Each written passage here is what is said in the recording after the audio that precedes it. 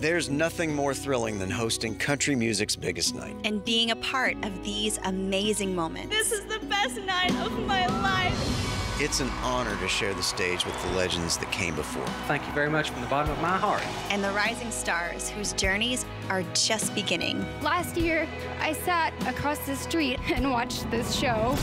Feel the music. Live the moments. The CMA Awards live November 14th on ABC.